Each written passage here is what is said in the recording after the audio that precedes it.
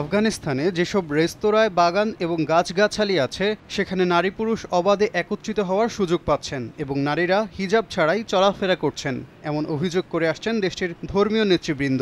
হেরাত প্রদেশের কর্মকর্তারা জানান, সাধারণ মানুষের দাবি, এসব রেস্তোরাঁ আগে পার্ক ছিল।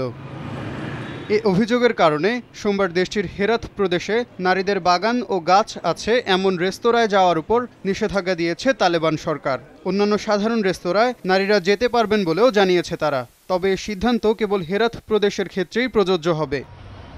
দু হাজার একুশ সালে আফগানিস্তানে তালেবান সরকার ক্ষমতা গ্রহণের পর একের পর এক দেশটিতে নারীদের চলাফেরা এবং কাজের উপর বিধিনিষেধ আরোপ করেই চলেছে। মেয়েদের উচ্চশিক্ষা গ্রহণ করতে না দেওয়া, জাতিসংঘের বিভিন্ন কার্যক্রমে নারীদের অংশগ্রহণে বাধা দেওয়া, বাইরে চলাফেরার জন্য সঙ্গে পরিবারের পুরুষ সদস্য থাকা বাধ্যতামূলক করা সহ বেশ কিছু কঠোর পদক্ষেপ গ্রহণ করেছে তারা।